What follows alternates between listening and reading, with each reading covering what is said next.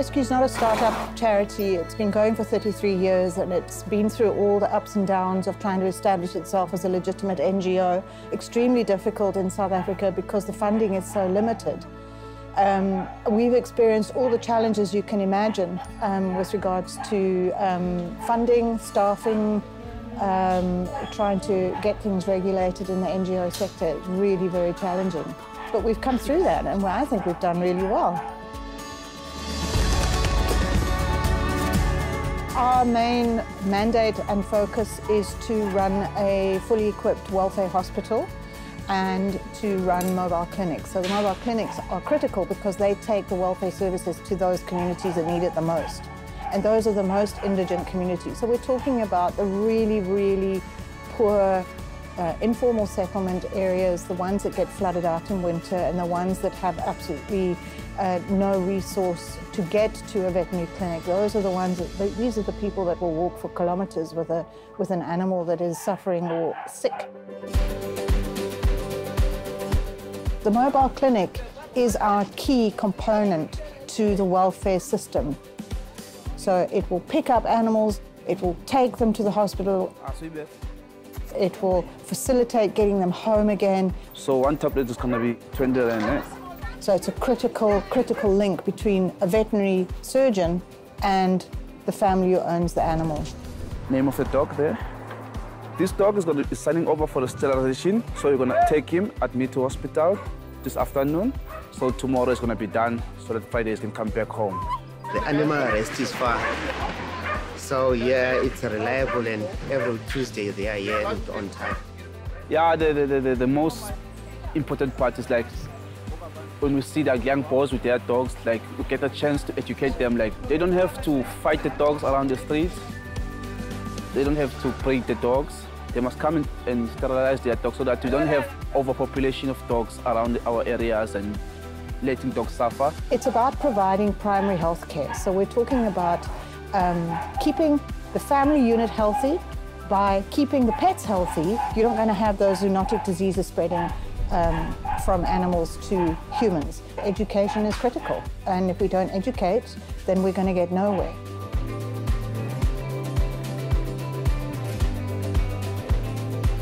Okay, so this is the business end of things. Um, we're about to get started for the day. Um, we have a number of animals here, all from the, the front clinic. Um, so our animals coming in from the front clinic are generally from more conscientious owners. Animals are coming from owners who choose to have them treated. Um, so we get to see the more interesting stuff from the, the front clinic. I bring the cat here for sterilization. Hi, man! The public will come to animal rescue and depending on who they are, um, will receive an account to pay. But it's important to note that while they get an account that states the normal veterinary fee, it also says on there 90% discount based on the fact that they are in, they're indigent and they're, they're unemployed or uh, they're pensioner or so on. So they may get 2,000 rands worth of medical care for their pet, but they'll only pay 100 rand. For those people who are walking to a mobile clinic, they don't have a car, so they walk their dog or they carry their cat to a mobile clinic. That sterilization will be done for free, and our fundraising will foot that bill. And that's what Animal Rescue is all about. All right, yeah, so we're going into the, our cat ward now. This little guy um, had a fractured radius and ulna, which uh, I put a pin in, um, two pins, one into radius and ulna um, last week. And um, he was ready to go home on Friday last week, and we took him back to the the area where he's from, and um, the, the owners disappeared. So, unfortunately, this guy's looking for a home. As the veterinarian uh, in a welfare environment, my biggest challenge is um, communication with the um, the owner of the animal. You know, you're dealing with um, a lot of neglect and abuse over here. Um, you're dealing with people that um, quite frankly shouldn't have pets. Okay, so Tuesday to Thursday, those are our surgery days. So we um, we're very busy on those days in theatre, and on a Friday um, we try and empty out the hospital and get them all back home um, to the um, the communities where they come from. Um, so Fridays is delivery day. Time to go home. I'm tired. To miss your family. Time to go home, Snuggles. Come. Hmm? Are you gonna see your mother?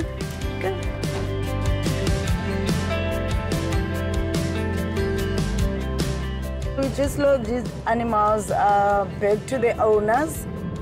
They came here on Wednesday for sterilization and the cat came last week. The people we deal with them, it's the people they're coming from township. So the people, they are not working and they are pensioners.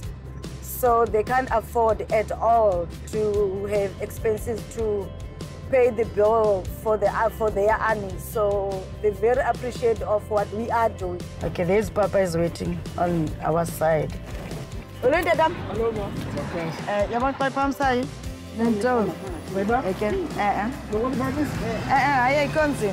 Oh, it's really. I ah, also feel happy as the owner. They can see the way we helping their animals. They they always have a hope of of what we are doing, and then they having a trust of animal rescue because we're picking up their animals and then we make it sure we're bringing their animals back home on the right owner.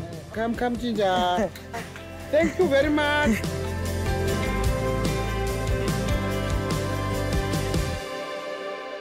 There's a lot of other things that's going on in the country with regards to animal welfare and things that we speak out about.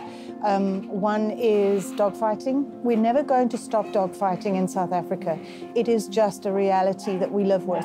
It, all over the world, dogs are being bred and used for dogfighting. But what we do believe is that we can't sit back and do nothing just simply because we can't stop it. So the only thing that we've come up with as a possible solution is to throw some weight into very targeted education of young kids, particularly young boys, living in communities, going to schools where it is known that dogfighting takes place. And then, of course, there's a donkey issue. We have a massive um, trade in illegal donkey skins. Um, donkeys are being illegally slaughtered in barbaric manners all over this country. It came out very publicly in 2018, um, and there's been um, amazing attempts to rescue donkeys and to highlight the plight of donkeys in South Africa um, by organizations like um, the Karoo Donkey Sanctuary. John O'Sherwin is, a, is an advocate for that, does incredible practical work in rescuing donkeys. And then, of course, there's the issue of performing wild animals in circuses, also barbaric, archaic, what are we doing having wild animals in circuses in this country when all over the world people are banning it? But here we are limping along, still unable to get enough buy-in from government to ban this ridiculous practice. Thanks so much. No, thank you guys so much for everything. You guys doing such an amazing thing. It is a population crisis. We have boxes of puppies being dropped off in welfare organizations like Animal Rescue. You can build a thousand shelters. If you haven't got the homes, then it's an absolutely pointless exercise. And who's going to fund those shelters? The Animal Rescue Organisation needs 7 million Rand a year to operate. Running mobile clinics is extremely expensive. We need professional staff. We need um, to keep these vehicles on the road. We need a lot of money to keep the drug cupboard stocked up. Um, there's a lot of expenses that goes into running animal rescue. Uh, a lot of that comes from the general public, but we also have some very active charity shops and we do some special events. We have a great fun quiz night every year. We have the golf day and the vineyard lunch and so on. So we have a lot of activity going on around fundraising, um, but most of it comes from the general public. We have to put a, a, huge thank you out to everyone who does support the Animal Rescue Organisation and just continue to appeal for your support.